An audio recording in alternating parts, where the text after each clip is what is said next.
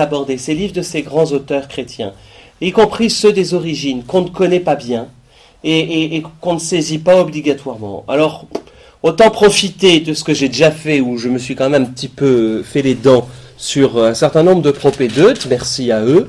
Euh, d'abord, ce cours que je continue, que je vais recommencer demain matin avec eux, même si avec des propédeutes c'est vraiment très spécifique, ils vont ou ils veulent rentrer au séminaire. Là, en l'occurrence, c'est de me dire, ben, pourquoi chacun d'entre nous ne se dit pas, tiens, tel saint, je ne le connais pas, tel auteur, j'en entends parler, je ne sais pas ce qui a été écrit. Ça me permet de vous faire en même temps, très clairement, un cours d'histoire de l'Église. Je parle aussi des romanciers, parce qu'avec les propéteux, tu termines toujours par Bernanos. Alors Bernanos met dans la version euh, les dialogues des Carméniques. Mais, euh, et eux, la version opéra en plus, ils se payent. Donc, euh, ce qui vaut le coup une fois, mais alors il faut avoir deux heures et demie devant nous et bien s'installer et s'accrocher, parce que c'est pas évident la première fois à voir. Mais ça demeure un opéra absolument magnifique. Je vais montrer des extraits. voilà. Quatre. Je les découvre demain, hein, donc j'en sais pas plus. Donc je vais voir demain leur visage et là. Euh, donc voilà un peu l'idée au point de départ. D'autre part, c'est un cours quand monseigneur Santaine m'a demandé d'enseigner. donc le lendemain de mon ordination, il m'a appelé en me demandant de, vraiment prendre cette, charge-là. Et, j'ai eu en tête ce que m'a toujours dit mon, mon, mon professeur, que me disait mon professeur de philosophie quand j'étais à Solem, le, don Jobert disait toujours, après il reprenait, je ne sais plus quel est le, philosophe qui dit ça, nous sommes des nains sur des épaules de géants. Et qu'en fait, beaucoup ont déjà écrit, beaucoup ont déjà dit de magnifiques choses, et qu'on ne sait pas où aller chercher. Voilà. Ça, c'est le grand souci que l'on a lorsqu'on aborde euh, notre histoire. En fait, les chrétiens ne connaissent pas leur histoire. Nous ne connaissons pas l'histoire de l'Église, et nous connaissons encore moins l'histoire de nos plus grands auteurs, de, ceux qui ont écrit les plus belles pages de, l'histoire. Et voilà. Donc mon idée est de vous le partager. Je pense en avoir pour deux ans, très clairement. Là, si tout va bien, on va aller jusqu'une bonne partie du Moyen Âge. Si, si, si, on, si on finit le Moyen Âge, ça peut être une bonne chose. Et après, ce serait l'ère moderne et contemporaine, ce qui est quand même assez euh, voilà, intéressant. Deuxième remarque, c'est pour ça, si des personnes sont absentes, euh, entendent ce cours et, veulent le rattraper, je fais toujours en sorte que chaque cours soit... Évidemment, ils seront chronologiques. Alors là, en revanche, s'il vous manque un morceau, il vous manque un morceau. Mais chaque, jour est chaque cours est indépendant. C'est-à-dire que je, je ferai en sorte d'avoir, de terminer à chaque fois un auteur. Ce que j'essaie de faire dans tous les autres cours, comme ça au moins, ben, j'ai pas pu venir la dernière fois, cette fois-ci je peux venir, je sais bien que chaque emploi du temps est particulier. Je vois déjà comment se compose le mien, c'est déjà assez drôle. Donc euh, je pense que tout le monde a toujours ces difficultés, au moins d'avoir euh, euh, voilà, vous aurez tel auteur, tel autre.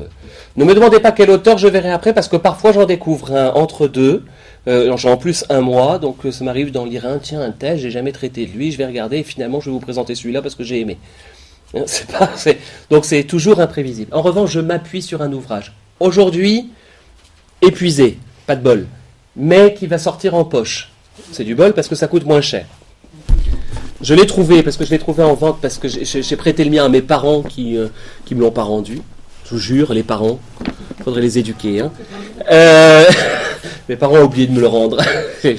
en août, là, j'ai oublié de leur réclamer. Euh, ça s'appelle Les Voix de la foi. L'auteur s'appelle François Huguenin. Je vais vous noter ça quand même au tableau, On le trouve encore d'occasion dans la grande version. Donc François Huguenin. Voilà. Et c'est Perrin. Pas compliqué, il date de mon ordination. 2012. C'est un cadeau d'ordination qui m'a été fait. Là, justement, euh, Monseigneur Santaine m'appelle le 25 juin, le lendemain de mon ordination, en me disant euh, Monsieur l'abbé, Déjà, ça m'avait été coûteux d'arrêter l'enseignement. Quand euh, mon Seigneur m'appelle en me disant Vous reprenez l'enseignement le lendemain de mon ordination, j'ai trouvé ça assez beau de la part du Seigneur. Neuf ans sans pouvoir enseigner, neuf ans après, et un jour, mon Seigneur m'appelle en me disant Vous reprenez vos cours.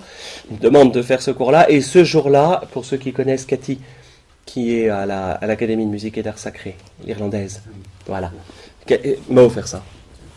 Et je ne savais pas très bien de quoi partir pour un cours. C'est une magnifique anthologie des textes chrétiens, des introductions, j'en rectifierai quelques-unes, il y a une ou deux erreurs, pas beaucoup, qui sont, euh, qui sont très très bien faites. On a au moins un petit résumé. Vous voyez que c'est pas épais, il y a quand même 500 pages, mais...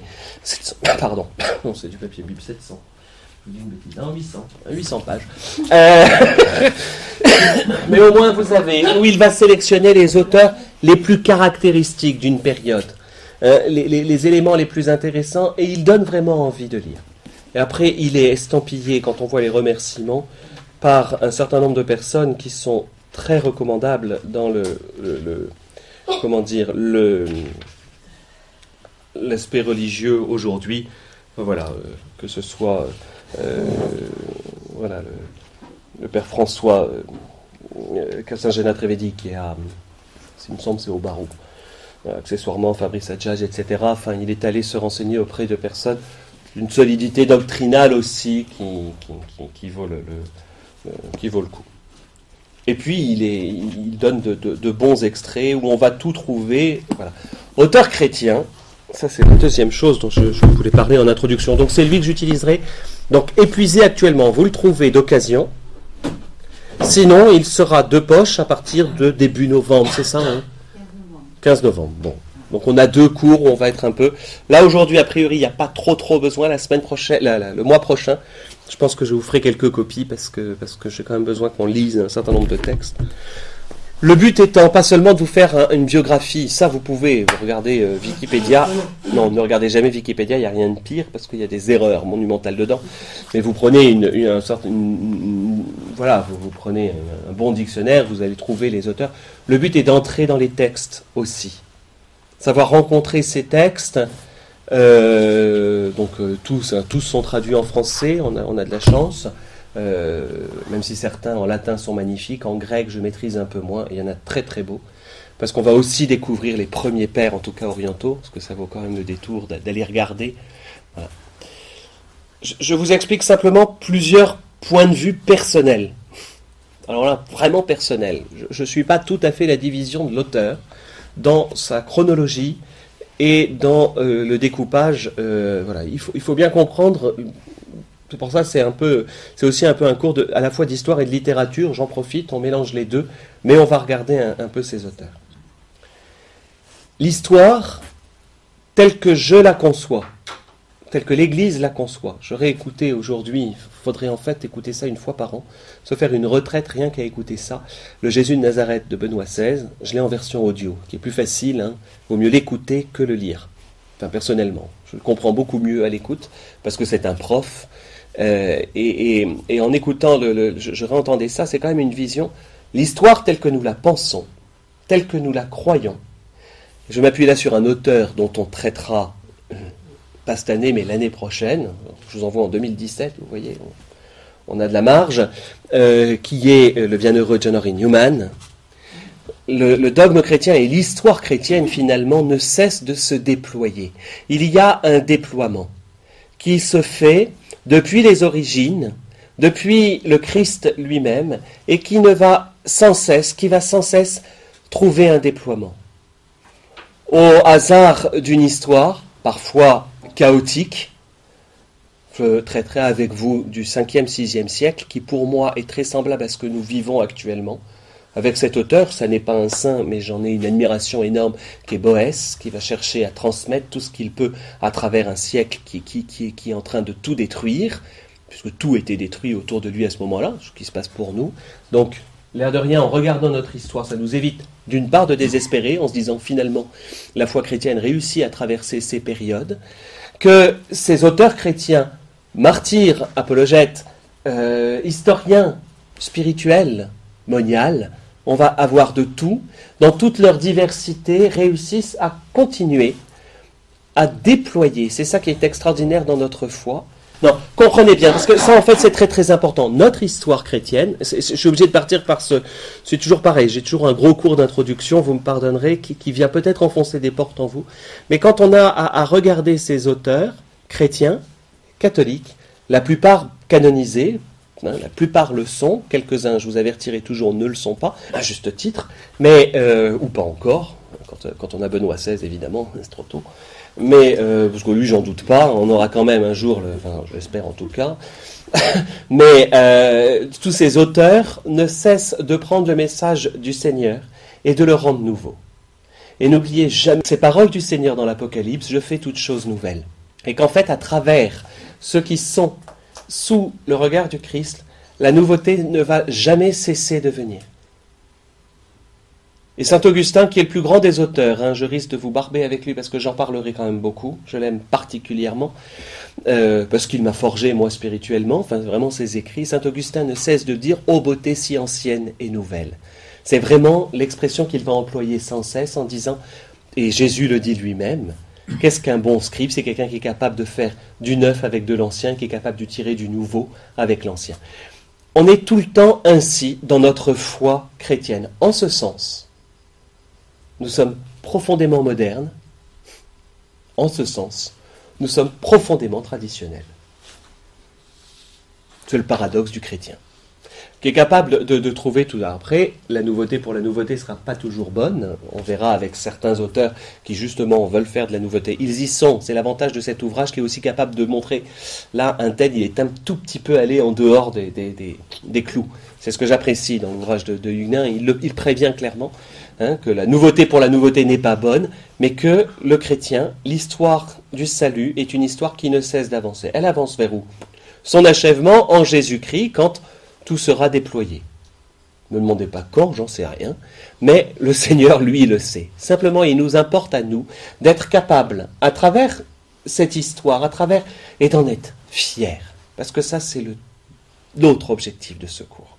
Soyons fiers de notre histoire et de ce qui a été apporté. Quoi Saint Bernard a écrit la constitution, les, constitutions et la règle de l'ordre du Temple, qui est un méchant ordre qui a tué beaucoup de musulmans pendant les croisades. Parce que ça, c'est ce qu'on va entendre et ce qu'on va nous accuser. Saint Bernard, ce sont les plus belles pièces sur la bienheureuse Vierge Marie. Je crois qu'il n'y a pas plus beau que les textes de Saint Bernard sur Notre-Dame et que, à force de nous accuser chrétiens, la société actuelle s'en charge, de nous accuser chrétiens et de nous faire honte de notre histoire, nous n'en connaissons plus les grands auteurs. Saint Dominique, on retient quoi l'Inquisition? Est-ce qu'on a retenu la beauté de son œuvre?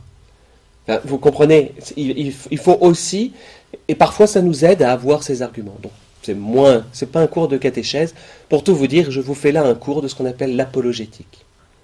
Est-ce que certains d'entre vous ont encore eu ça en catéchèse lorsqu'ils étaient enfants. Vous êtes trop jeunes. vous êtes trop jeunes. Je ne dirai pas à Madame Mère qui, elle, a eu encore ses cours d'apologétique par les dominicains à Nîmes. Euh, elle me dit on avait, arrivé en terminale, un cours d'apologétique où on devait apprendre justement. Qu'est-ce que c'est que l'apologétique? Parce qu'en fait, c'est mon point de départ. Tout auteur chrétien est un apologète. Apologète, c'est un mot grec qui veut dire défendre. Même plutôt se défendre. Et en fait, dès le départ de l'Église, il a fallu que des hommes et des femmes, les femmes un peu plus tard, en termes d'écrit, euh, en termes de vie, non, puisque la sainteté de la bienheureuse Vierge Marie, on vient de le voir ce soir, elle était quand même la preuve. Elle, elle est restée debout. Euh, mais des hommes et des femmes ont eu à rendre compte de la foi qui les habitait. Je cite la deuxième lettre de Saint Pierre. Sois toujours prêt, soyez toujours prêt à rendre compte de la foi qui vous habite. Et rendre compte de cette foi, au départ vis-à-vis des Juifs, ensuite vis à -vis des païens, au milieu des persécutions, Ensuite, dans le but d'étendre le christianisme à travers toute l'Europe, évidemment, et au-delà. Ensuite, à travers la foi catholique vis-à-vis des hérésies protestantes. Ensuite, de la foi catholique vis-à-vis de la monstruosité de la philosophie des Lumières, puis du positivisme, puis du matérialisme du XXe siècle, j'en passe, c'est des meilleurs. Perpétuellement, le but du chrétien est de rendre compte de sa foi, de la foi qu'il habite. C'est de ça faire de l'apologétique. L'apologie, vous vous souvenez tous de l'apologie de Socrate, vous avez tous lu, en philosophie, voilà, l'apologie, c'est vraiment cette idée, prendre la défense d'eux. Et donc, il, appartient à tous ces hommes et ces femmes que nous allons lire, y compris Sainte Thérèse, qu'est-ce qu'elle fait? Elle défend sa foi par rapport à une déviance qui existe à son époque, qui est un jansénisme mortifère, et elle va trouver la solution intérieure. Y compris Sainte Thérèse, elle va faire quoi? Défense de la foi que je suis en train de vivre. Donc en fait, mon cours est un cours d'apologétique. On a du temps pour pouvoir le parcourir. Et justement, ces auteurs, il faut pouvoir les découvrir. C'est-à-dire ces auteurs qui sont capables de défendre la foi à travers les siècles. Alors, plus strictement, au début, plus strictement, on va parler des apologètes des premiers siècles, ça c'est certain. Mais de manière générale, tout auteur, toute personne qui écrit un livre sur la foi, qui écrit un livre sur sa foi, a envie de la défendre. Et en fait, ils viennent en ce sens nous aider, nous, chrétiens, notre petit niveau, à défendre la nôtre. Hein. Voilà, ça c'est, ça c'est la trame. Ensuite, il y a des manières. Alors là, je vais reprendre. Vous êtes en pleine introduction, donc vous en faites pas. Hein, euh, je vais reprendre parce qu'il y a des distinctions très claires. Quelle est la forme la plus parfaite de l'écriture? Souvenez-vous de vos cours de littérature. Alors là, pour le coup, il faut avoir été d'une génération qui a eu le Lagarde et Michard dans les mains. Moi aussi, hein. Nous avons le même âge. Ah, vous savez qu'on on distingue dans la littérature un certain nombre de niveaux. Et que j'aime bien qu'on ait la distinction parce que c'est une manière de, saisir le texte, je suis dans, quel niveau. Vous savez que la perfection de l'écriture, ça n'est pas la manière que je vais avoir de parler, mais elle va être dans une manière beaucoup plus élaborée. Là, je suis toujours, n'oubliez jamais que je suis historien du XVIIe siècle, donc j'ai quand même ces réflexes, mais que je pense être très juste. Et donc, il y a des formes plus ou moins élaborées. Normalement, la forme la plus basse, la plus facile, c'est celle qui va reproduire notre discours quotidien. En fait, c'est, ça va vous paraître euh, très étrange, la forme la plus basse de l'écriture, c'est la philosophie. Parce que la philosophie est censée nous suivre un discours qui nous permet, dans le dialogue, un peu avec des mots habituels. Alors la philosophie, depuis le 19e siècle, a largement quitté cela, mais que la forme, de on va dire la forme de l'essai.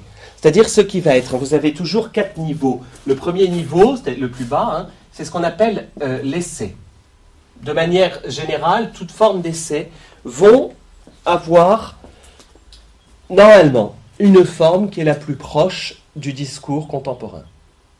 Accessoirement, tous les premiers écrits chrétiens vont être de cette forme-là, vont être dans, cette idée-là, c'est-à-dire une manière d'essayer de, converser avec le contemporain, avec ses mots à lui, etc. Ne croyez pas, j'entendais l'autre jour sur France Culture, j'écoute France Culture, c'est là que je me dis que j'ai pris de l'âge, mais euh, j'écoute France Culture parce qu'il y a quand même des émissions passionnantes, mais Onfray disait une bêtise énorme, qui disait les premiers chrétiens vont essayer de faire rentrer de force leur philosophie dans un discours qui est simple. C'est faux. Vous lisez Saint Justin, vous lisez, ils sont dans les mots que, que leurs contemporains comprennent. accessoirement, ce sont des contemporains qui sont capables de lire, donc avec un niveau intellectuel légèrement différent des autres. Il ne faut pas oublier cette réalité. Mais ils vont le faire dans un dialogue qui sera le plus proche possible. D'accord? C'est une forme simple en tant que telle. Vous allez trouver la deuxième forme qui est un niveau au-dessus. C'est, qui va être de l'ordre. Et ça, souvenez-vous, c'était le cas. Donc, on voyait un peu ce qui était de l'ordre de l'essai quand on était dans la garde des Michards, euh, classé comme ça. La deuxième forme, qui m'intéressera beaucoup moins, enfin moins, mais je la verrai quand même, c'est là où on va mettre en forme le récit. Donc, le roman en est particulièrement, mais celui qui va être le plus, c'est l'histoire en tant que telle. C'est on remet en forme un récit pour édifier. Donc on le reconstruit. Dans un essai, mon but est de dialoguer, simplement. dans un récit d'histoire, dans un roman, mon but est d'apporter quelque chose à l'intérieur de mon propre récit. Donc j'élabore. Et sur tout ce qui va m'intéresser, dedans. Ce qu'on appelle la géographie. C'est un gros mot. Je vais vous donner le mot simple, les saints. Laissez les gens se moquer. Laissez les gens se moquer des vides saints telles qu'elles ont pu être élaborées par euh, Jacques de Voragine dans euh, la, légende, euh, la légende dorée au Moyen Âge. C'est un récit magnifique. Oui, mais la vérité historique, quelle est la question de la vérité historique Justement, on n'est plus de l'ordre d'un certain nombre de choses, on est de l'ordre le but là. Là, le but va être de convaincre. Ah, là, le but est d'édifier. Euh, édifier. Je suis toujours dans l'apologétique, je suis toujours dans le but de défendre ma foi, mais avec une dite saint, je dois édifier. Alors évidemment, lorsque Saint Jean Chrysostome, sur son berceau, il y a un nid de, euh, pas un nid, un essaim d'abeilles qui, qui, arrive et qui euh, se pose sur son visage, et les abeilles rentrent et sortent de sa bouche, etc. Puis l'essaim va se mettre ailleurs, mais il va avoir aucune piqûre. Je ne sais pas si c'est vrai historiquement. Je n'ai pas besoin. Je trouve ça assez sympa, moi, comme idée. J'aurais été sa mère, j'aurais été comme ça, son père aussi d'ailleurs, mais euh, euh mais c'est pas grave, c'est pas la question. La question est de dire, lorsque l'auteur veut que la sainteté, alors très souvent, c'est un peu marqué, hein, tout petit déjà, il célébrait la messe, et etc. Il y avait des miracles, on va, on va inventer peut-être des choses, mais on va édifier les abeilles qui, qui, qui rentrent et sortent de sa bouche. C'est que sa parole était aussi douce que le miel, d'où il va prendre ce surnom de Chrysostome, bouche d'or. Et c'est pas compliqué de, le comprendre, c'est pas la peine de s'en moquer. Un récit hagiographique, un récit de vie de saint, n'a pas besoin, n'est pas une biographie. Oui, mais ça, pour les communs des mortels comme nous, ça met la sainteté comme si c'était réservé à une élite. Et non, justement. Alors, je verrai, si vous me permettez, mais c'est bien que vous le disiez maintenant, je le verrai avec certains justement quelqu'un comme Sainte Thérèse en racontant sa propre vie, parce que là, on va trouver, avec ces récits-là, on va trouver les autobiographies. Qu'est-ce qu'ils font, les, auto, les autobiographes? Une autobiographie, on réécrit. Mais il faut, faut pas une géographie de même. ah, Saint Augustin, non. Et en même temps, qu'est-ce qu'il est en train de dire? Regardez le misérable que je suis, et passé, la grâce est passée au travers, parce qu'il le dit. Sainte Thérèse, elle le dit, j'étais une névrosée. Et regardez, la grâce m'a traversée. Sainte Thérèse d'Avila, elle le dit aussi. J'avais envie d'avoir une vie tranquille, regardez, la grâce m'a traversée. Euh, euh, Saint Ignace de Loyola, lisez son autobiographie, regardez. J'étais un pauvre gars de mon époque à avoir envie d'aller me battre avec tout le monde. Et finalement, la grâce m'a traversé. C'est ça. Ils vont défendre, peut-être, en exagérant, on va trouver. Sainte Thérèse d'Avila, vous lisez son autobiographie, qui n'est pas la plus compliquée à lire des autobiographies. Pour le coup, on en reparlera en, temps. Euh, Sainte Thérèse d'Avila, vous lisez, vous dites, euh, ah bah, quelle mollassonne. Elle n'a pas honte de dire, j'étais molle. Mais j'ai réagi. Et donc il vous appartient. Et ils vont faire dans leur autobiographie. Donc la géographie ne doit jamais nous faire peur, mais nous dire que la grâce protège. Alors évidemment, Jacques de Voragine, c'est sûr, ils naissent tous avec l'auréole. C'est beaucoup plus compliqué que euh, les autobiographies qui deviennent beaucoup plus riches pour nous. Beaucoup plus facile.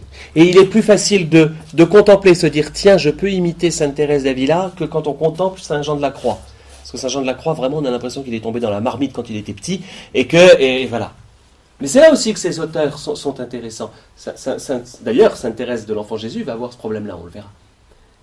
Hein, c'est là aussi qu'ils vont nous intéresser. C'est là peut-être plus qu'avec les propétotes, je passerai du temps. J'aimerais bien pouvoir justement qu'on puisse aborder ces récits à bah, nos, fameux BHBV qu'on avait quand on était gamin, enfin moi, Belles histoires, belle vie. C'était quand même génial ça. Bon, après, c'est sûr que Saint-Dominique Siavio, j'ai toujours eu l'impression qu'il est né avec l'auréole. Et pourtant, qu'est-ce que je l'ai lu, celle-là? Et que ces, auteurs-là, alors là, on va le voir par leurs écrits, c'est l'intérêt que soit Sainte Thérèse d'Avila, l'écrit, enfin, on verra, c'est pareil parti. J'ai aussi beaucoup d'affection. J'ai beaucoup d'affection pour ceux dont je vais vous parler parce que je peux faire le choix, à vrai dire, dont je vais vous parler que de ceux que j'aime. Hein. Euh, enfin, ceux que j'aime, ceux avec lesquels je suis entré le plus en phase. Mais, mais c'est l'intérêt. Là, ils construisent quand même le récit. Ils sont plus dans une, dans une manière, on va, on va convaincre comme un dialogue, mais on construit un récit. Un récit dans lequel je vais essayer de vous convaincre que la grâce peut traverser. Ça va être l'histoire, on verra ça avec Eusèbe de Césarée, ça va être le roman, bon, ça je le verrai plus tard, parce que le roman, ça va nous concerner au XXe siècle, plus tard ce sera Bernanos, je ne le verrai finalement qu'avec le théâtre, donc le, troisième niveau, euh, ça va être Bernanos, euh, ça va être avec la géographie, j'aime bien quand même regarder Jacques de Voragine, oui, ça exagère sur plein de choses, mais qu'est-ce que c'est agréable à lire? Et en même temps, ça, donne, voilà, voilà, ça donne au moins une, possibilité aussi de, provoquer notre propre imaginaire. N'oubliez pas qu'on est un peu des enfants tous, qu'on le veuille ou non, et que quand notre imagination est, stimulée quelque chose de l'ordre de la foi l'est, peut-être un peu en superficie, mais c'est pas grave, ça vient travailler, c'est la géographie et les biographies. Voilà. Vous avez le troisième niveau, je l'ai dit, qui est celui qui vient vraiment de l'ordre de la représentation. Il y a une mise à distance avec le réel. Et on va trouver deux grands domaines.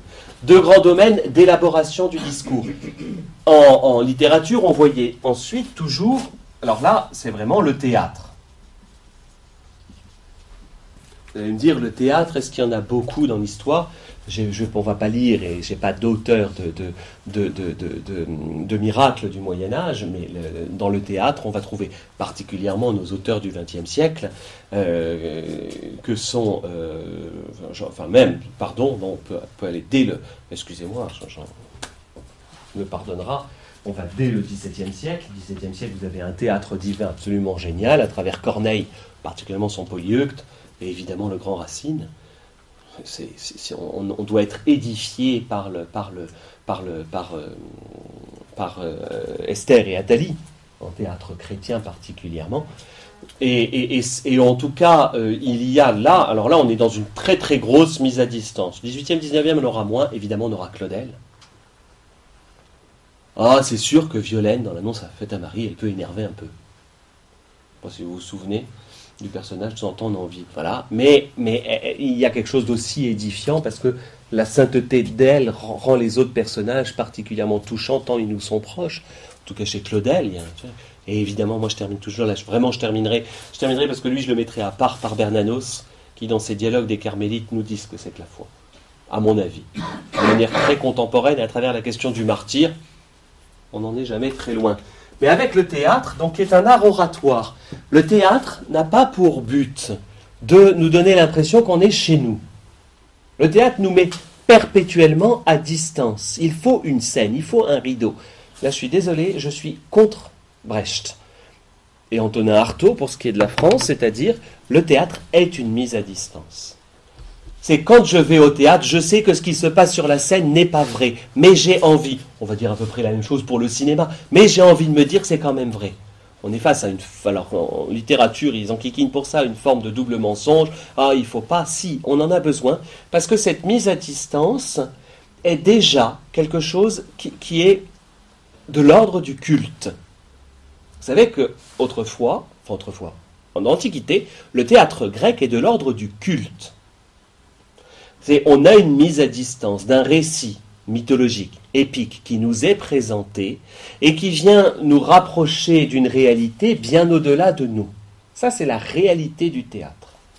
Le théâtre au XVIIe siècle, même le théâtre de Claudel, le théâtre de Bernanos, etc., le vrai théâtre, a toujours cette mise à distance en disant ce que je suis en train de représenter devant vous vous montre une réalité qui est bien au-delà.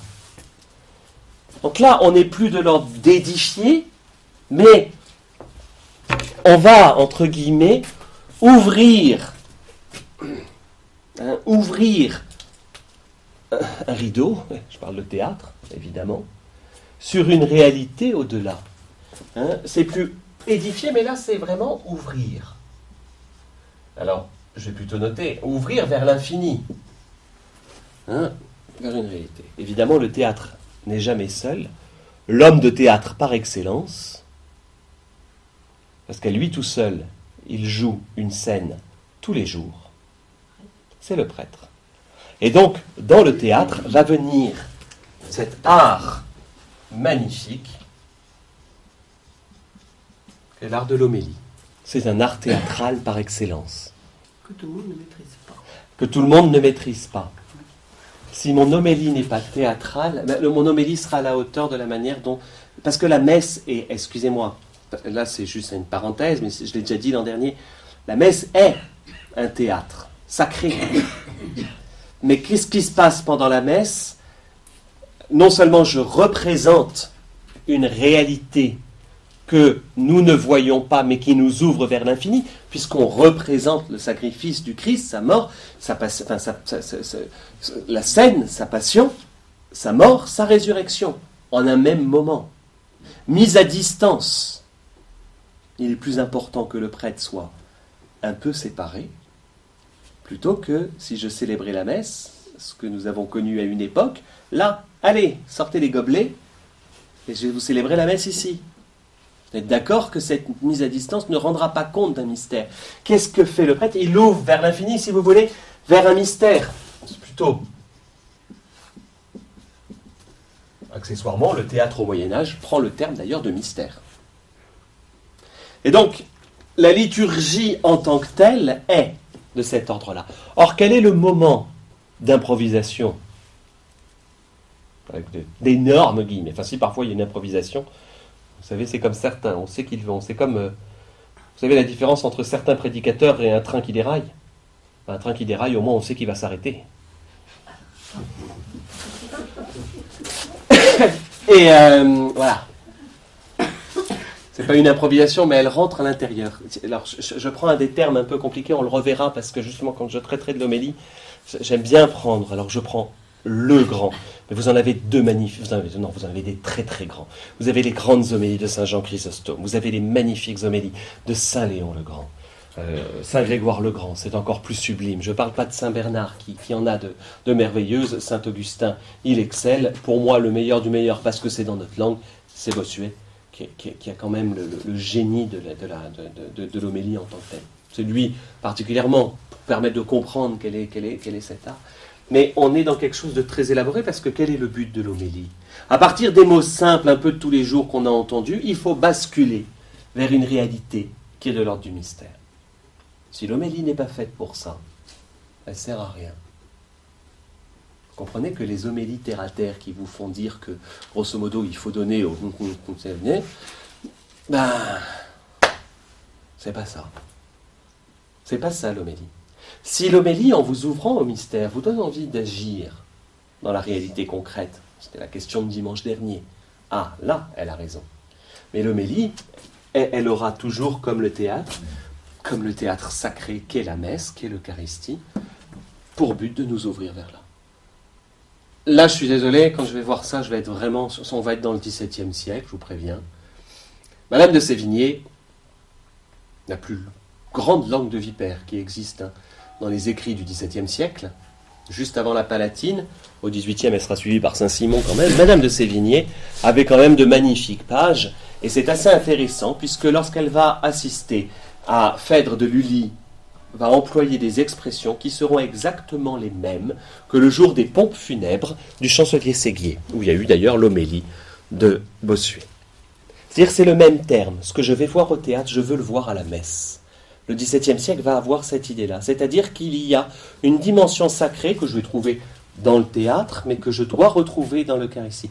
Et l'homélie va en être. Alors après le XVIIe siècle, c'est l'âge de l'éloquence, hein. c'est l'ère de l'éloquence à ce moment-là, mais l'homélie va avoir ce but-là.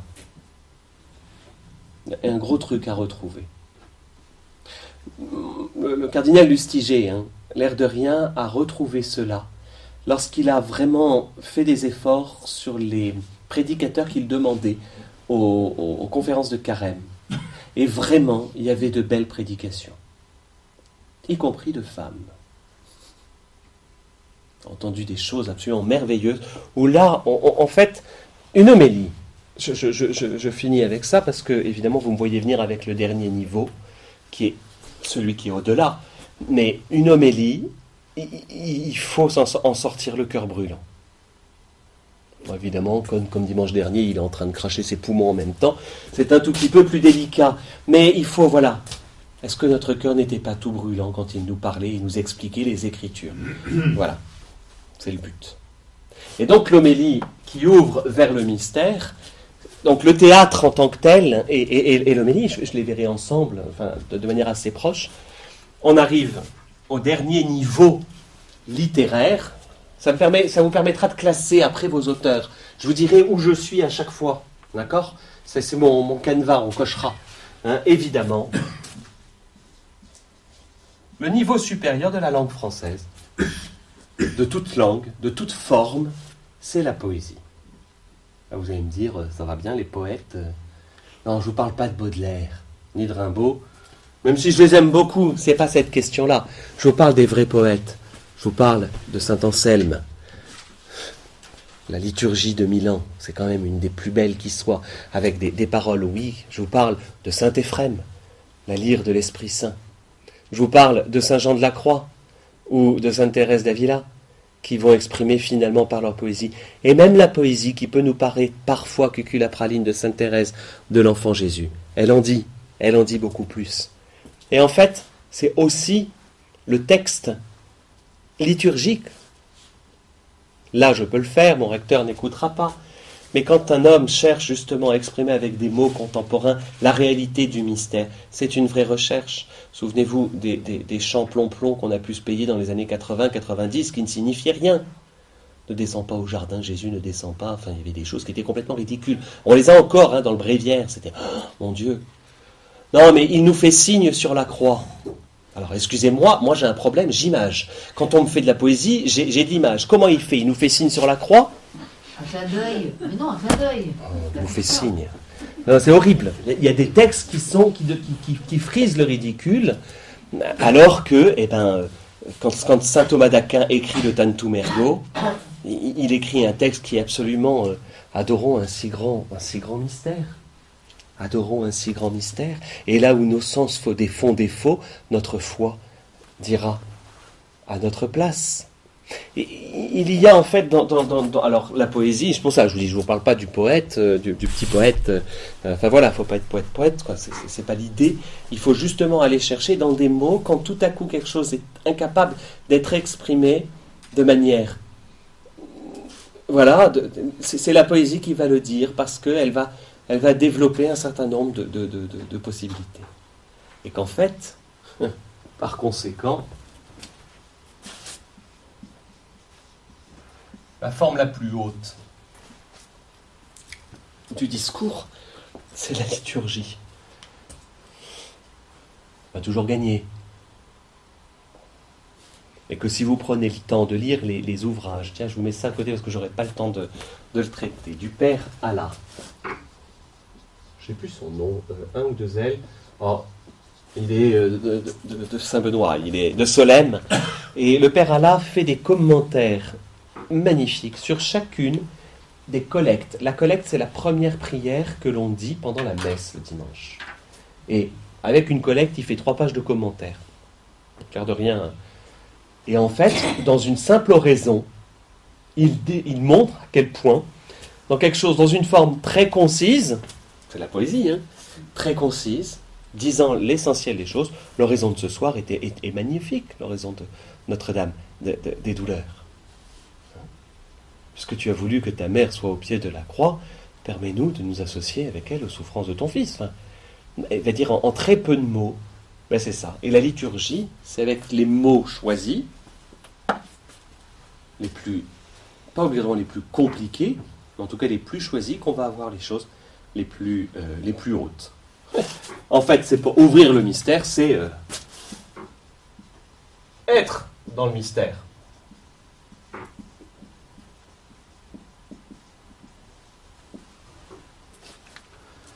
Tard je t'ai aimé, ô beauté, si ancienne et si nouvelle, tard je t'ai aimé, tu étais au dehors de moi, tu étais au dedans de moi et moi j'étais au dehors. Enfin, c'est ce magnifique poème hein, de, saint Augustin qui est encore plus beau en latin. Euh, il exprime quelque chose qui fait qu'il s'adresse directement. Alors saint Augustin, il bascule beaucoup de là à là. C'est un homme de théâtre en même temps, parce qu'il joue. Après, on, met, je mets des catégories, évidemment, qu'on ne sera jamais dans l'un ou l'autre euh, strictement. Et vous voyez qu'on va là du, plus simple, j'allais dire, la philosophie, je vais essayer de te convaincre de ma foi, mais ce qui doit vraiment convaincre de la foi,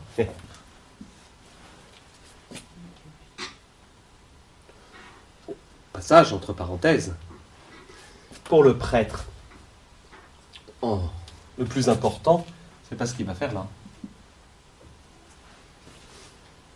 Faut pas qu'il oublie ce qui est juste derrière. Oui, oui, son homélie sera importante, mais elle sera là. Et qu'une homélie qui ne serait que convaincre, ou une homélie qui est juste édifiante, n'est jamais bonne, parce qu'elle n'atteint pas son but. Une homélie, elle doit quoi Ouvrir le mystère qui va se célébrer juste après. Oh, c'est tué. Donc tous les auteurs que l'on va voir, alors on va les voir, et dans l'histoire, les choses s'élaborent. Vous prenez les, auteurs chrétiens que vous connaissez. Parce que vous en connaissez un certain nombre. Je vais prendre par exemple quatre auteurs chrétiens que vous connaissez bien, qui s'appellent Saint Matthieu, Saint Marc, Saint Luc et Saint Jean. Ça va, ceux-là? Je pense que vous les avez lus ou au moins déjà en partie. Vous prenez les premiers. Il hein, faut commencer par eux. Chacun va se situer à un niveau étonnamment différent. Évidemment, on va plutôt glisser Saint Jean de ce côté-là, même si Saint Jean est très théâtre. À chaque fois, vous prenez les scènes, hein, vous prenez la Samaritaine, prenez la scène de la Samaritaine, le chapitre 4 de Saint Jean, qu'est-ce que vous avez? Vous glissez d'une situation théâtrale, et tout à coup, vous allez glisser vers une liturgie. On va adorer le Christ finalement. Et on va retrouver ça, on va les retrouver en tant que tels. Peut-être Saint Luc. Saint Luc se situe largement du côté de l'histoire. Ce que j'ai entendu, vous savez, mon cher Théophile, tout ce que j'ai entendu, il va se situer là, même s'il va basculer. Les passions, avec les dialogues, on le fait même pendant la messe de la passion, que ce soit les rameaux ou le vendredi saint, on va dialoguer, on va le faire sous forme théâtrale. Encore, on n'a pas les solos de Victoria, là, les, réponses. Euh, mais, donc, les évangélistes vont, toujours euh, jouer là-dessus. Saint Paul, vous avez toujours l'impression qu'il est là, puis Saint Paul, tout à coup, il va basculer là. Ben, Saint Paul, il est en train de, d'allumer, alors on enfin, il allume les Galates, et puis tout à coup, il les allume, parce qu'à un moment, il s'en paye euh, voilà, il leur dit qu'ils sont des imbéciles hein, à un moment, et puis tout à coup il va basculer sur, sur, sur une contemplation, et là il va être dans un, dans un mode poétique totalement. Hein. Nos auteurs du Nouveau Testament, premiers auteurs chrétiens quand même, hein, ils sont, ils sont pas si nombreux que ça, donc ça vaut quand même le coup de les lire un jour. Sinon tous, alors se faire la, série des, lettres de, Saint Paul, c'est un peu, difficile. C'est, s'il y a un conseil à donner à quelqu'un qui veut découvrir vraiment, faut lire d'une seule traite Saint-Luc les actes. Parce que Saint-Luc les actes, vous avez justement, dans les actes, vous avez pas mal, vous avez tous les éléments, et avec Saint-Luc et les actes, vous avez un, bel ensemble déjà, qui ouvre quoi? Qui, explique, bah, très simplement, enfin qui explique, qui déploie tous les modes littéraires, et puis, ben, qui est ce fameux Jésus qui est venu bouleverser notre histoire? Et puis dans la foulée, après, on va voir ces premiers auteurs qui vont suivre. Donc là, je ne traiterai pas, hein, justement, je ne suis pas en cours biblique, mais c'est eux évidemment mon point de départ. Hein. je ne traiterai pas de, ces auteurs-là. Alors, dans les voies de la foi, hein, dans l'ouvrage de Huguenin, vous avez, à chaque fois, il il va reprendre justement un passage de l'Évangile qui met en écho ce que d'autres vont écrire. C'est l'intérêt de l'ouvrage en tant que tel. Alors, c'est pas eux que je vais, aborder, c'est les autres. J'ai fait il y a deux ans un cours sur Saint-Jean, et donc euh, voilà, on va recommencer. On en fera d'autres, mais euh, les premiers auteurs et qui vont utiliser justement toutes ces formes. Parce que là aussi, voilà une grande nuance, voilà une grande chance, et en même temps une manière dont Dieu se livre à l'homme qui, est très étonnante. Euh, une chance de notre foi chrétienne, c'est que Dieu se livre à travers ses écrits selon des modes d'écriture très différents et accepte finalement ce qui nous arrive à chacun lorsqu'on a un ouvrage devant les yeux, accepte que nous l'interprétions déjà dans l'Évangile. Alors, le mode d'interprétation très euh, personnel est relativement récent. Non, mais moi, je vois pas la même chose que toi, c'est évident. Hein, c'est toujours amusant. Ça fait combien d'années que tu me suis sur les, sur les retraites de, de profession de foi? Trois ans? Ouais, eh ben, euh, en trois ans, on n'a jamais vu la même représentation de, la scène du triple reniement de Pierre. On pas voir la même chose. On est face à une interprétation. Bon, après, c'est des gamins de sixième, on n'a quand même pas des risques d'hérésie. Heureusement, enfin pas encore. Mais euh, euh, il y a un, voilà, un rapport au, nous, nous avons un rapport à notre texte biblique qui est exactement comme par rapport à ces auteurs, qui nous rend très libres. Dieu se laisse interpréter. Alors, on va essayer de le faire quand même, et ces auteurs, c'est pour ça que je parle d'auteurs chrétiens, j'avertirai toujours, lorsqu'ils ne sont pas reconnus comme euh, saints ou bienheureux, parce que c'est très important de le savoir. Parce que, sachez-le, peut-être vous n'êtes pas au courant, j'en parenthèse, enfin non pas que parenthèse, quand un auteur est reconnu comme saint, mais déjà même bienheureux, voire même vénérable, il me semble, c'est qu'on a épluché la totalité de ses écrits et qu'aucun de ses écrits n'allait à l'encontre de la foi et de la tradition de l'Église. Et, et sa vie aussi. Alors évidemment sa vie, mais les écrits. Je, je veux dire que, par exemple, euh, euh, euh, il y, a- des fois des situations qui, sont, euh, euh, qui, voilà, enfin, je me souviens très bien, on préfère, il faut lire tel auteur, oui, mais il est protestant, oui, mais par conséquent, il y a un souci. Oui, peut-être que ce qu'il dit va être bien, mais il y aura sans doute un décalage par rapport à la réalité de notre foi catholique. C'est pour ça, il y a toujours, donc je vous préviendrai. Origène n'est pas canonisé. Alors aujourd'hui, c'est revenu à la mode. Peut-être vous n'êtes pas dans ces débats-là, et tant mieux, n'y entrez pas. Hein, oui, mais Origène, on n'a pas très bien. Origène, il a un problème dans le comportement de son existence, qui fait que il s'est fait ordonner prêtre, on ne sait pas trop comment. Il s'émascule lui-même en disant, bah, c'est Jésus qui l'a dit dans l'Évangile, donc un fondamentalisme qui est quand même pas top top. Il va écrire des choses très très belles, mais alors il y a deux trois bricoles où il est un petit peu, euh, euh, on va dire borderline, en tout cas. Bon, bah Origène, vous lisez, c'est bien. Il est reconnu comme quelqu'un qui a marqué la pensée chrétienne, il n'est pas Donc ces écrits ne, peuvent pas faire argument. J'en parlerai, Tertullien. Tertullien, il est bien aussi. C'est un type un peu, il est un peu trash. Et, quand quel- quelqu'un qui lui plaît pas, il le lui dit. Donc forcément, mais Saint Jérôme aussi, hein, il se mettait en colère, faut dire. Mais Tertullien, il va avoir ces attitudes-là. Sauf que Tertullien, à la fin, c'est lui qui invente le mot Trinité. C'est lui qui introduit le mot Trinité. Génial. On le verra, on en parlera. Sauf que Tertullien, il termine euh, intégriste. Il n'y a pas d'autre mot. Entre enfin, plus qu'intégriste. Euh, enfin, il, termine complètement dans une secte, machin. Pourquoi? Parce qu'il n'a jamais accepté de se soumettre à l'Église. Alors que vous allez avoir d'autres auteurs qui vont. Donc, les auteurs auxquels on va donner justement, Tertullien ne sera pas reconnu. Il avait un caractère de cochon. Saint Jérôme aussi. Hein, Saint Jérôme, il avait un caractère de cochon. Simplement, le pape lui dit bon, allez à Bethléem, foutez-moi la paix. Il va y aller, il va traduire son- sa Bible et il va le faire, et il va très bien le faire, faire des introductions magnifiques. Forcément, à Bethléem, il enquiquinera personne. À Rome, il était un petit peu virulent. Mais voilà, et, et- et Saint Jérôme s'est soumis, avec joie d'ailleurs, parce qu'il va l'exprimer, et il va très bien comprendre que c'était un peu à cause de son caractère. Euh, La sainteté, elle est là. Quelqu'un qui aurait une vie, un écrivain qui aurait une vie exemplaire, Oui. mais qui aurait écrit des choses où l'Église n'est pas totalement. Enfin, et du coup, il serait pas saint. Non. Ouais. Parce que ce qu'il va transmettre, alors ensuite on peut faire une différence. C'est sûr que les écrits de Saint Augustin, quand il écrit ses premiers essais philosophiques, donc le De etc., les premiers, ceux qu'on lit jamais, euh, et, et ces écrits-là, il est encore païen et il est encore, donc on va marquer hein, une différence entre mais euh, certains auteurs pourront, alors après, après c'est plutôt rare, mais certains écrits peuvent réellement, après il faut qu'il y ait une énorme divergence par rapport à la... Je, vais prendre un exemple, tiens, parce que parce qu'on en a parlé, elle a été canonisée, bah, béatifiée il y a peu de temps, euh, enfin il y a une dizaine d'années.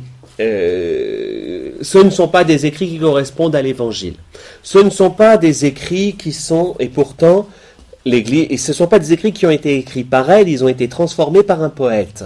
C'est les écrits de la bienheureuse Anne-Catherine Emmerich.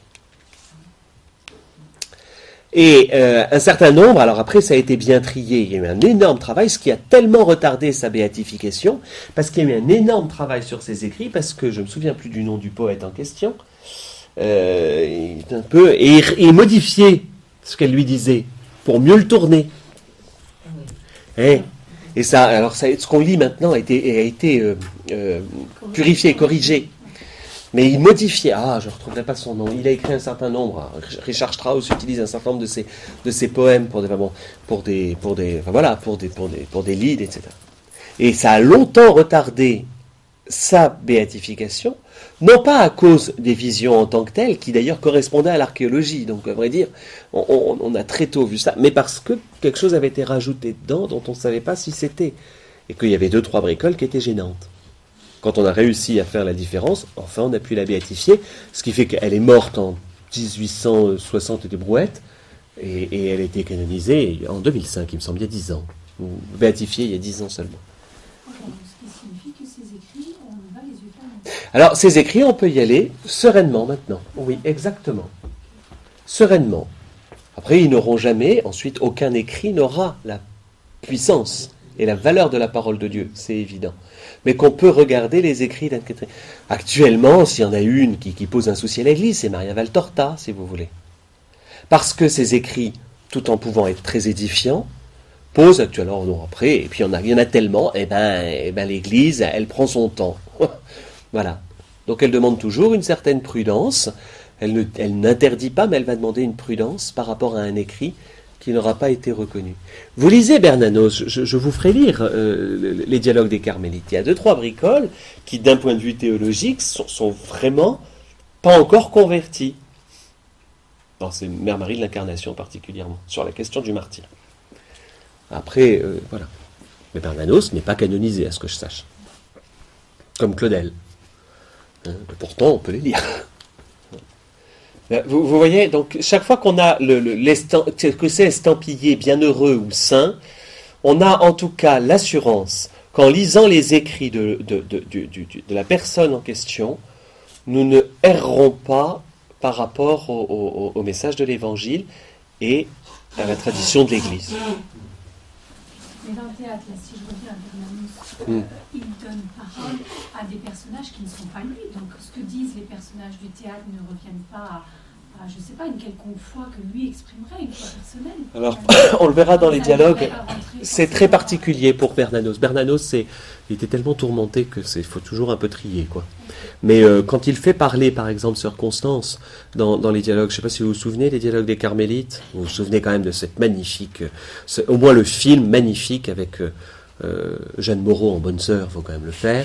Hein, c'est quand même pas tous les jours. Mais Madeleine Renaud, euh, la mort de la première prière, etc. Je sais pas si vous voyez, il y avait cette jeune femme Constance, cette jeune religieuse qui est toujours pleine de joie. C'est l'interprétation qu'il va faire du message de la petite voix de l'enfance de Sainte Thérèse, par exemple. On le sait parce qu'il y a aussi son travail et que après il y a des études comme ça sur, sur Bernanos. Et il est tellement torturé. C'est un personnage aussi. Et on le sait, il est dans une quête, et quand Poulenc se saisit de, sa pièce, il en fait un opéra, Poulenc est tout aussi torturé. Il, torturé, il en fait quelque chose de magnifique. hein. Les dialogues des Carmélites vers son Poulenc, c'est merveilleux. Mais on sent bien que... il y a des nœuds là-dedans. Et donc, euh, Bernanos va être un bel auteur chrétien, un très bel auteur chrétien, parce qu'il va édifier. Et là, le XXe siècle, on en pullule. Peux pas tous les voir, hein, mais, mais, évidemment, Claudel, enfin Claudel, il faut lire, lire Le soulier de satin. Le soulier de satin, pff, heureusement qu'il n'y en a qu'un. Euh, non, et sinon, la jeune fille, enfin, l'annonce faite à Marie, c'est- magnifique, mais l'annonce faite à Marie, c'est- aussi une vision un peu. euh, Claudel n'a pas intégré, par exemple, Sainte de l'Enfant Jésus, que Bernanos va intégrer. C'est intéressant de voir ces auteurs-là. Mais on, peut les aborder, il faut juste être, au courant. Il y a des auteurs protestants qui sont très bien. Vous avez des homélies de Luther sur la Bienheureuse Vierge Marie qui sont merveilleuses. Ça demeure Luther. Donc il y a toujours une prudence. Je ne le dis pas par anti-écuménisme. Hein, c'est vraiment pas l'idée. Mais il y a toujours une prudence parce que il, y aura quelque chose qui sera peut-être légèrement borderline, comme on dit, un, peu trop en frontière, et parfois de l'autre côté. Ça, n'enlève rien à la qualité des écrivains de, Luther. Les, discours de Martin Luther King sont magnifiques. Ils sont profondément protestants. Qui ne font la partie sacramentelle, il y a- quelque chose qui disparaît. Enfin voilà, il faut juste. Ça, c'est une prudence. Peut-être on verra avec le temps. Avec certains auteurs, je vous montrerai si on peut. Par exemple, vous avez là-dedans, on verra avec l'Eucharistie, le problème avec la, communion et entre autres le jansénisme, avec le, grand Arnaud. Hein, celui qu'on appelait le grand Arnaud, qui, écrit un beau texte sur la communion, et on se rend compte qu'il y a un truc qui est un tout petit peu gênant. Euh, voilà, on, le verra justement. Ça permet de, bien mesurer ça. On l'a pas, et heureusement qu'il y a des théologiens qui s'en chargent à Rome. hein. Parce que- Mais on n'est pas toujours capable de le voir. D'où un certain nombre d'auteurs, y compris dans les auteurs contemporains. Alors, vous avez des auteurs, vous êtes sûr que ça fonctionne, que c'est catholique, c'est les papes, lorsqu'ils écrivent ex cathedra, c'est-à-dire qu'ils écrivent dans la charge de leur fonction. Enfin, dans, l'exercice de leur fonction, pardon. J'entends par là des lettres et des, qu'on appelle le magistère ordinaire du pape. En revanche, quelqu'un comme Benoît XVI, je, pense que c'est le plus, après Moïse, le plus humble des hommes qu'on ait jamais connu. non, réellement, c'est une humilité profonde. Je réécoutais le début. Donc je vous dis, le début de son Jésus de Nazareth, et là il fait, je vous rappelle que là je suis en train d'écrire en tant que pauvre théologien, et je ne le fais pas en tant que pape. Vous pouvez me critiquer. Ouais, je vais critiquer le pape, tiens. C'est sûr que j'ai ces connaissances. Est-ce que les catéchèses du mercredi rentrent dans justement ce ex-cathédrale? De- des papes ou pas du tout? Oui, en soi, ce qu'on appelle le magistère ordinaire, c'est-à-dire que c'est un enseignement qui est régulier. Par exemple, tout l'enseignement de Saint Jean-Paul II sur, le, sur la théologie du corps rentre là-dedans. C'est peut-être pour ça qu'il a attendu d'être pape pour le, Pour le sortir, exactement. hein. Il va le faire. Et alors, la grande difficulté euh, actuellement qu'on a avec le pape François, c'est pas le fond, c'est la forme. C'est que la forme est un peu originale par rapport à ses deux prédécesseurs. C'est-à-dire que Jean-Paul II, euh, c'était en spirale, euh, Benoît XVI, c'était allemand. Là, euh, et, que voilà. Mais en fait, vous regardez le fond, c'est excellent. Et que là, on aura toujours. C'est la forme. Il a des images qui nous sont, qui nous déroutent, on va dire. Mais c'est qu'une question de forme, pas une question de fond. Par exemple, hein, c'est la seule personne, hein, quand le recteur parle en chair, il peut dire des erreurs. Je vous rassure. Je ne parle pas de son vicaire, c'est encore pire, il peut en dire encore plus. Hein. Vous savez bien ce qu'on nous dit quand on apprend à faire une homélie. Une hérésie par homélie, pas plus. Bon, trois quand c'est la Sainte Vierge. Parce qu'en règle- générale, c'est là qu'on en dit plus, qu'on mélange le plus de choses. Donc non, mais c'est toujours important d'avoir ce critère-là de, de- de- saisir. Et puis après, la, qualité des dernier point d'introduction, je suis désolé, c'est toujours, j'ai toujours des longues introductions, mais après, moi, ça me permet de rouler dans chaque auteur très sereinement. Ça vous permet de chercher le bouquin, ou moi de faire des, voilà, je verrai les, les- les apologètes chrétiens. C'est la division chronologique de l'histoire du christianisme. Je ne prendrai pas une division euh, habituelle. Vous savez que la division que l'on donne habituellement, non peut-être pas parce que c'est chez, nous les historiens. Alors il y a bien que, euh, d'ailleurs qu'en en France on divise en, quatre grosses périodes,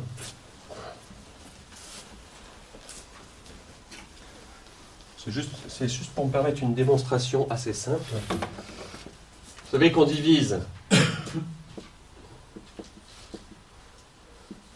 traditionnellement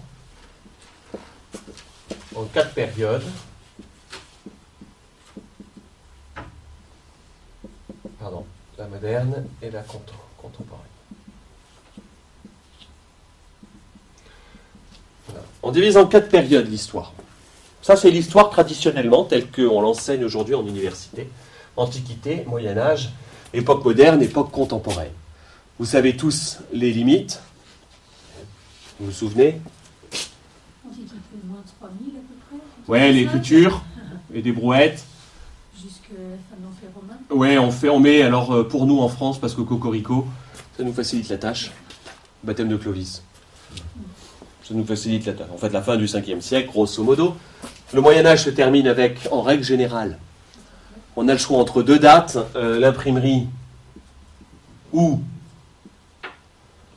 l'Amérique. Ça dépend de quel côté des Pyrénées on est. C'est tout. D'accord? Hein? Et l'époque moderne, alors là, c'est pas compliqué. L'époque moderne se termine, on est en époque contemporaine, alors depuis la Révolution, sauf que ça commence à faire beaucoup. Donc euh, certains font terminer, font commencer l'époque euh, contemporaine à la guerre de 70. Mais bon, euh, quand même, les, les bons historiens font, ah non, la Révolution. Depuis, on en est vraiment dans le... Je suis en opposition complète avec ce genre de division au sens de l'histoire de l'Église. L'histoire de l'Église n'a rien de l'ordre de division. D'abord, sachez que l'histoire, on a beau, nous, on a besoin, on est bien français, on est bien cartésien, on a besoin de délimiter.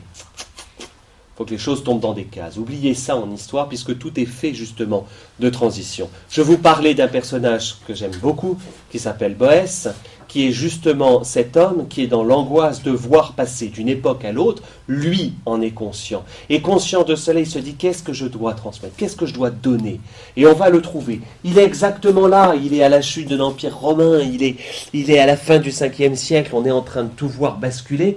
Et qu'est-ce qu'est-ce qu'il faut, qu'est-ce qu'il faut absolument que je donne? Et, et lui va le voir. Mais qu'est-ce que c'est qu'une transition? C'est la vie d'un homme, c'est 70 ans. Hein, Donc on n'a pas comme ça tout à coup un changement, euh, etc. C'est quoi l'ère postmoderne? La chute du mur de Berlin?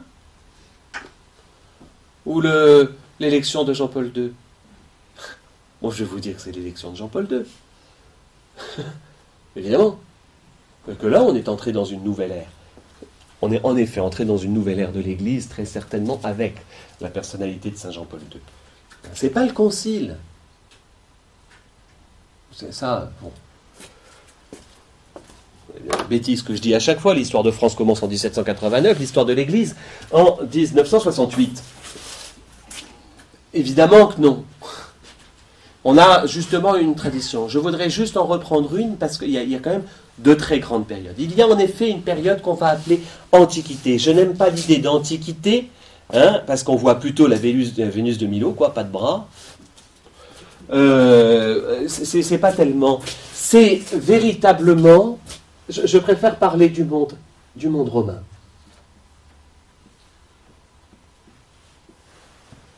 Quand on commence avec le christianisme, je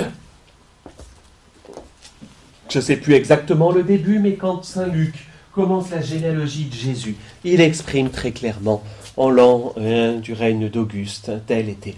On est dans ce monde romain.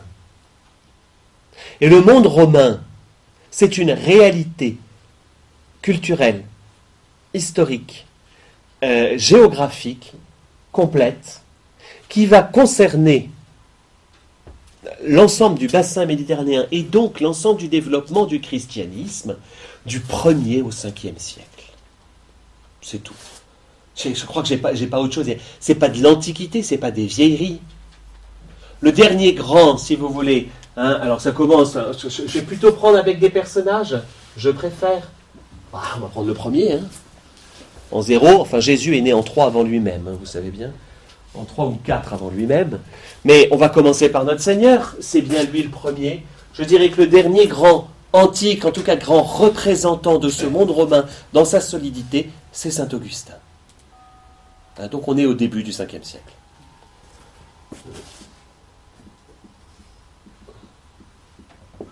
On va avoir cette période-là. Alors, je ne vais pas vous mettre des dates, mais Saint Augustin, quand il meurt, les Vandales sont entrés, donc les, barbares sont déjà arrivés au nord, de, de- enfin, sont déjà en Tunisie, enfin, voilà, à Carthage, si vous voulez. Donc à ce moment-là, le monde a basculé. Le monde a totalement basculé. Et entre dans une ère très particulière, dont, j'en reparlerai, un auteur va permettre ce basculement, se rendant compte que quelque chose va être perdu, donc Boès va, basculer, donc dans le monde intellectuel occidental, et là je vais être moi obligé de séparer, je maîtrise beaucoup moins le monde oriental, il est vrai, mais qui va se retrouver tellement à l'assaut de l'islam à ce moment-là qu'il va avoir du mal à perdurer. Hein, les grands auteurs orientaux on- on- vont vite être écrasés par, par, par, par l'islam, mais on en aura encore au 5e, 6e, 7e siècle. Après le 7e siècle, ça va.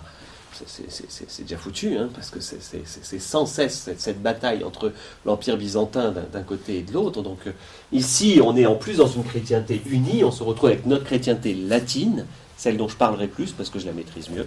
hein. et là, on va être, alors non pas dans le Moyen Âge. Je, me refuse, le Moyen Âge, hein, ce fourre-tout. Imaginez la différence qu'il y a entre votre manière de vous habiller aujourd'hui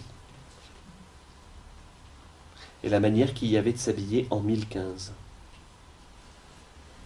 Entre la manière que vous avez de parler aujourd'hui et la manière qu'il y avait de parler en 1015.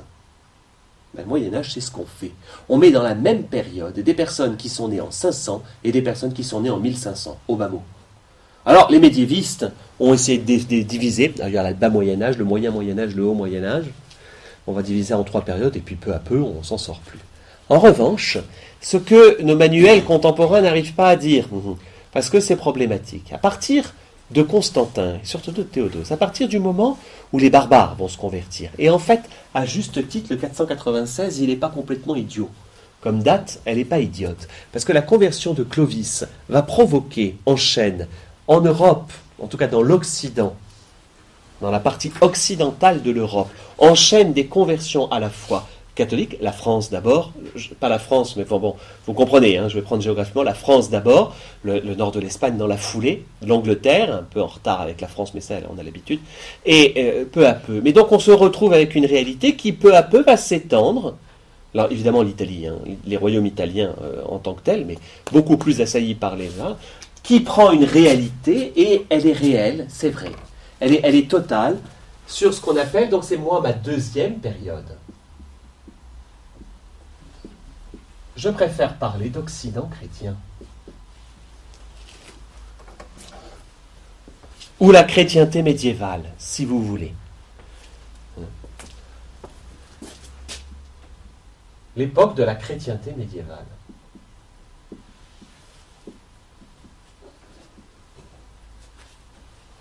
Elle vient pas de moi, cette expression-là, elle est de Duby, hein, Georges Duby, historien, laïque. hein. Donc, euh, toute l'école des Régine Bernoud, des euh, euh, Colette Beaune, etc. Donc, une école médiéviste qui a dit on en a marre de nous dire qu'on a un fourre-tout, accepter que l'unité, c'est pas l'âge obscurantiste du, gothique et, euh, euh, euh, voilà, euh, euh, que, que finalement l'ère moderne a été bien plus, bien plus sanglante. C'est surtout une époque où la réalité du monde occidental, c'est la foi chrétienne. Et qu'en Occident, tout le monde a la même foi. Je célèbre la messe à Tolède, alors, quand c'est reconquis, donc au XIe siècle, au XIIe siècle, je célèbre la messe à Tolède, j'aurai la même chose à Hambourg. Je rencontrerai des personnes avec qui nous partageons la même foi. Peut-être pas son même c'est une expression, on verra, il y a quand même une variété d'auteurs. Mais justement, il y a une unité. Un tronc commun. Il y a une renaissance, on appelle la renaissance du XIIIe siècle, euh, du XIIe et XIIIe siècle. Il y a un moment où la, vie intellectuelle est énorme. Et euh, saint Thomas, il va étudier à Cologne, il va être en Italie, il va être à Paris, euh, il va être au courant d'auteurs qui sont traduits à Tolède ou à Syracuse. Enfin, vous voyez, non, ça on nous le dit jamais en histoire. C'est le moment obscurantiste. C'est, vraiment un, problème parce que c'est un mensonge sur l'histoire.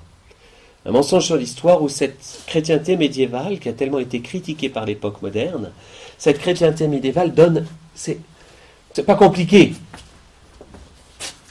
Passer 30 ans à ne pas enseigner à des étudiants, à des élèves, le Moyen Âge ou la chrétienté médiévale, et demander aux gens est-ce que l'Europe a des racines chrétiennes, ils vous répondront non.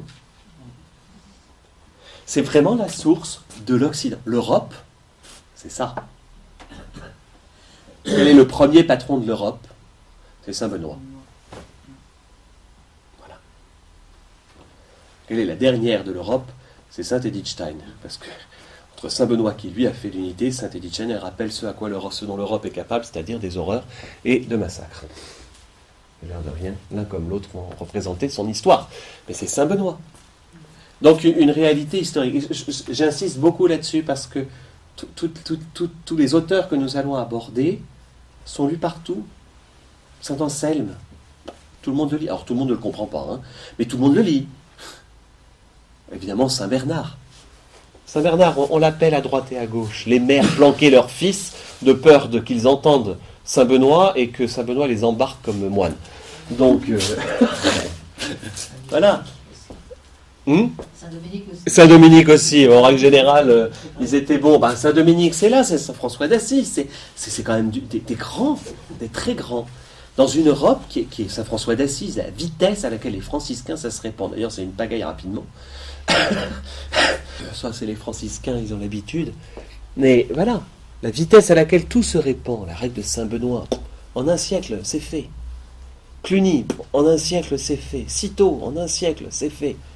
C'est- ahurissant. On, ne s'en rend pas compte. Et ça va depuis l'Écosse, alors pas toute l'Espagne puisqu'elle se reconquiert, mais toute l'Italie ou quasiment, parce que la, Sicile est toujours problématique, la région de Naples, ils sont toujours en train de se battre là aussi. Ils ont réussi à les virer, Naples, hein, au Moyen-Âge. Hein.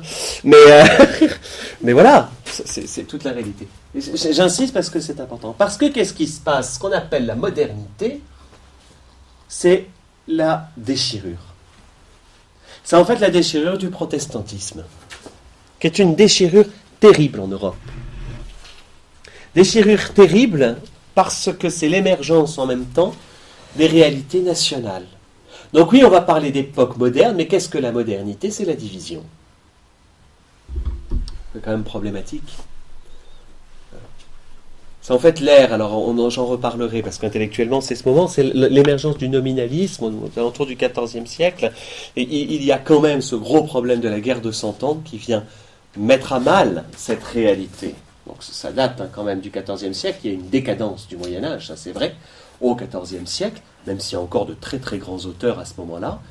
Cela étant dit, c'est ce qu'on appelle les mystiques allemands, et j'y arrive pas, je suis désolé, j'en parlerai, mais j'y arrive pas, les mystiques allemands, ça, ça rentre pas, j'arrive pas à aimer ces auteurs-là, parce que je les trouve alambiqués et compliqués, euh, on va pas retrouver. Qu'est-ce qui se passe à ce moment-là? Il y a quand même cette, déchirure. Et on a en fait l'émergence Ici, on est dans une société totalement catholique, totalement chrétienne. Je n'ai pas besoin de dire catholique d'ailleurs. Totalement chrétienne. La foi est la même. Oh, il y a deux, trois hérésies, on les brûle. Euh, non, mais. Je reparlerai des, des, cathares, les, les, saints cathares, c'était quand même une hérésie complètement tarée. Enfin, on en fait des martyrs, mais, ils étaient fous furieux. Hein. C'était les premiers à éliminer tout le monde. Enfin, bon. Euh, mais c'est sympa d'aller voir les châteaux cathares. Bon, après, on donne le mot à beaucoup de choses qui, à mon avis, ne, correspondent pas. Quand arrive, il y a quelque chose de très important. Benoît XVI, j'allais dire Saint Benoît XVI, faut que j'évite parce que me faire après, pas encore. Benoît, de temps en temps, ça c'est plus fort que moi. Euh, Benoît XVI l'exprime très bien, il dit il y a à ce moment-là ce qu'on appelle l'émergence du sujet. À partir du moment où toute la chrétienté, la question de mon salut à moi ne me pose pas de problème. D'accord? Arrive Luther qui alors est en pleine angoisse. C'est pas grave d'être névrosé, ça arrive à des gens très bien. S'intéresse de l'enfant Jésus en était une. Mais s'intéresse de l'enfant Jésus quand elle se pose la question mon salut à moi, où est-ce que j'en suis? Elle pense quoi? Communion des saints. Or, la période de, de l'entrée, c'est, je préfère parler à ce moment-là, évidemment on va garder époque moderne, mais c'est l'émergence de l'individu c'est-à-dire du ce qu'on appelle le sujet. C'est-à-dire que Luther va se poser la question, mais mon salut à moi? Ce n'était pas la question de gars à 50 ans avant lui, puisque c'était la société en entier. À partir du moment où vient cette émergence de, de cette question personnelle, il va falloir une réponse à cela. Et si vous prenez Luther, début du XVIe siècle, pose cette angoisse-là, et déchire, qui va répondre? Une femme, 50 ans après, qui se convertira à 50 ans, qui plus est, qui est Sainte Thérèse d'Avila, qui va répondre La question de mon salut, c'est la manière dont je mène ma prière en obéissance à l'Église. Je suis fille de l'Église. On reverra tout ça. Hein. Mais c'est l'époque moderne, c'est vrai, c'est vrai, c'est l'émergence, qu'on appelle l'émergence du sujet.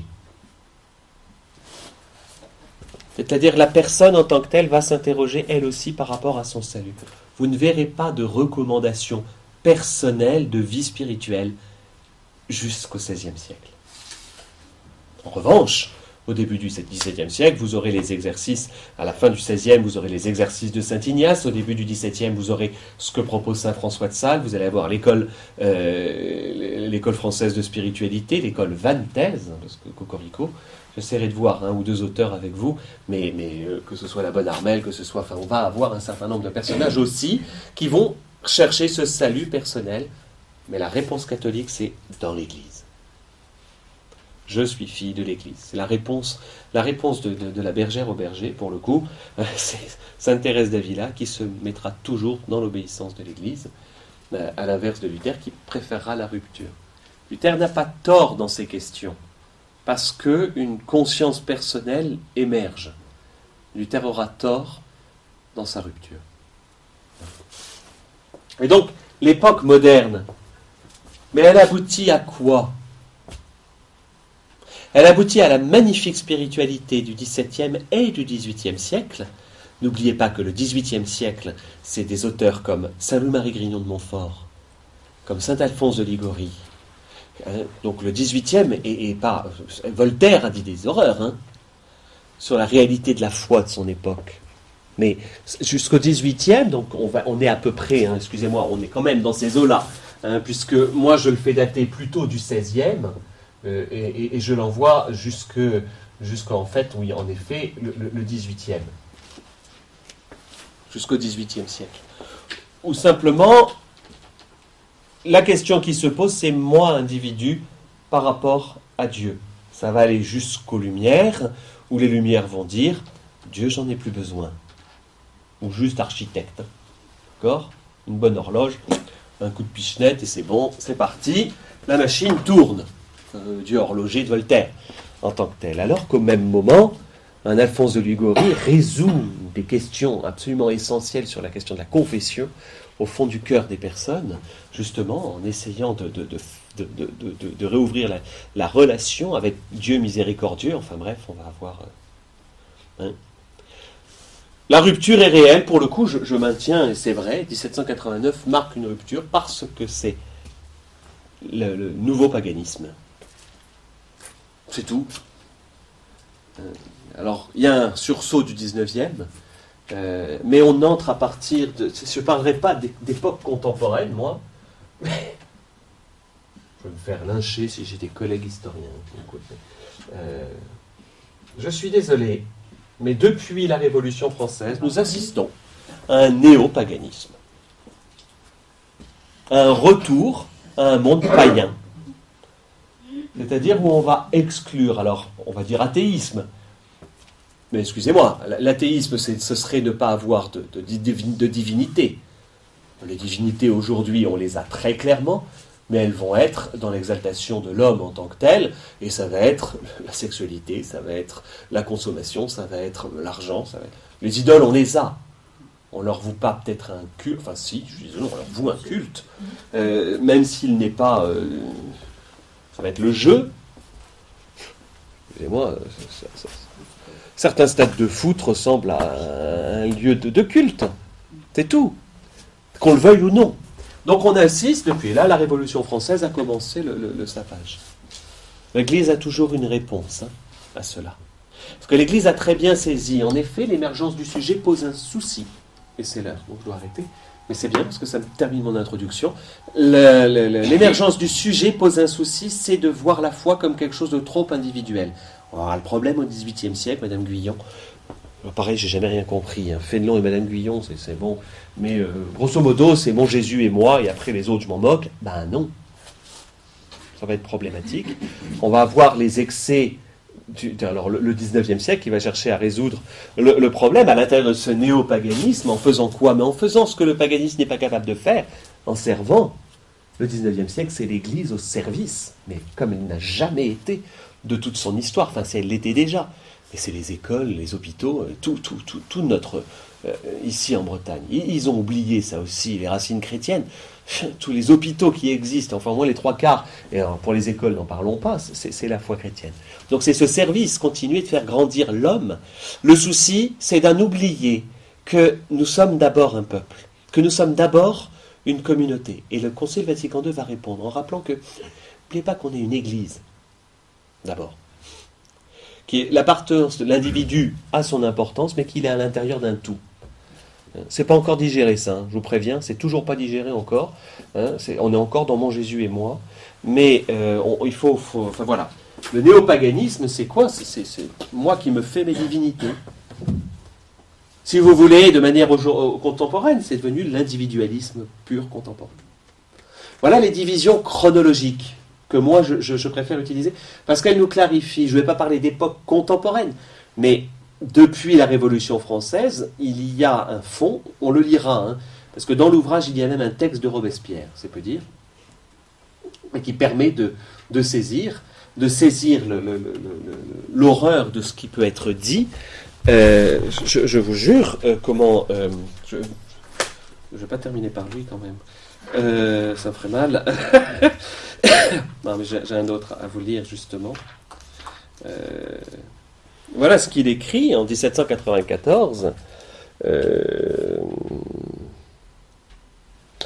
la morale à des bases éternelles et sacrées, inspirant à l'homme ce respect religieux pour l'homme, ce sentiment profond de ses devoirs, qui est la seule garantie du bonheur social, nourrissons-le par toutes nos institutions, que l'éducation publique soit surtout dirigée vers ce but, l'amour de l'homme en tant que tel. L'homme s'érige lui-même en tant qu'idole.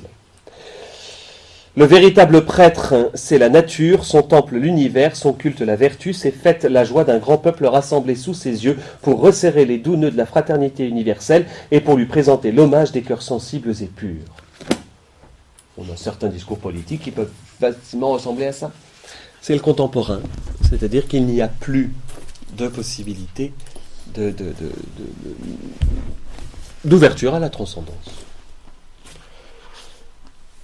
Donc voilà, ça, vous donne un peu, évidemment, il y a toujours ceux qui savent y répondre.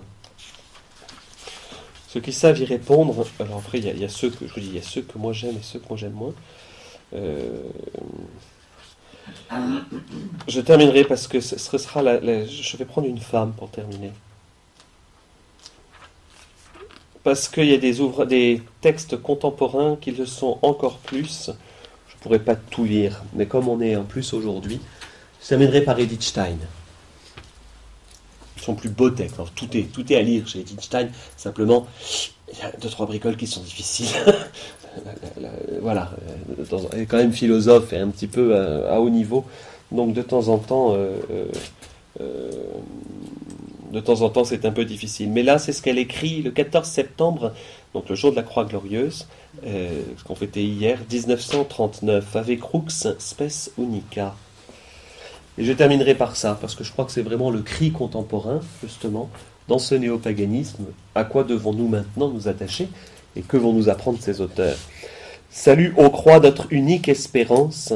Tel est le cri que l'Église met dans notre bouche en ce temps consacré à la contemplation de la mère souffrance de notre Seigneur Jésus-Christ.